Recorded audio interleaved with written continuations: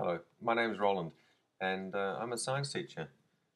You may have seen some of my videos that I've made with uh, hand puppets. I have a huge supply of them and I use them in my science class. It's not hard to use the puppets for engaging kids in science.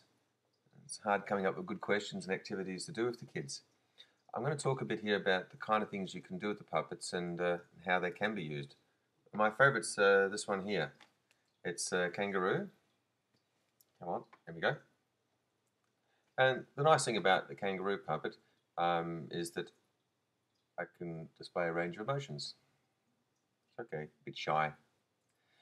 And it also comes with a little sort of bonus uh, Joey here. That's a little tiny kangaroo. Here we go. Now, you might figure out that when it comes to working with the puppets, uh, they can behave quite lifelike, and it's because of the things I'm doing. I'll let you into my secrets now. Okay? Okay. Number one is that I'm not always staring at the puppet. Um, I can stare at you because if I keep looking at the puppet, um, I'm detracting attention from the camera. Okay? Second thing is that uh, the puppet can tip its head to one side, and that's done by just moving the fingers so. And it has particular movements that are typical of animals like grooming. And by using the uh, fingers here, I can also have a bit of a, a, brushing of the face. I'll show that with another puppet, a bit easier. It's a mouse. And with this puppet, I can wave. Um, that's done by just moving my little finger. Um, I can have it clean its whiskers and that's done by rubbing my fingers so. I can also make the puppet tip its head. It's a bit hard of this one. I can make it uh, move its mouth. And it's not necessary to actually make a puppet move its mouth to give it some talking ability. You having a good day? Yes, I am.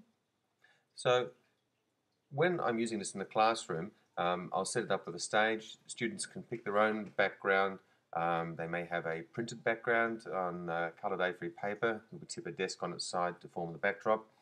I'd also arrange the uh, um, script so it's laying just off the stage. Students can uh, have a talk um, over the script, they have a chance to practice it, and importantly, um, have a chance to repeat it till they get it right. Um, puppets are displayed so on the camera, and two puppets, you've got dialogue. And that's the important thing of the activity. I can use this to have a discussion between uh, maybe two issues, two points of view, maybe a moral dilemma, um, two ideas, genetic engineering, um, DNA replication, um, could be uh, cyber safety, he likes that one, um, or it could be um, some really controversial issues, uh, piracy, copyright, or uh, freedom and open source. And I can have those discussions, or actually I don't, but the puppets do, don't you guys? Yeah well, the other ones are holding the show, and I hope that uh, you enjoy using this in the classroom. A couple of rules I have uh, no fighting. Um, puppets have to behave. Um, it's a G rated production, so I like the kind of behaviour that we could show younger students. Is that right? Okay, so let's get on with the show. I hope you enjoy it.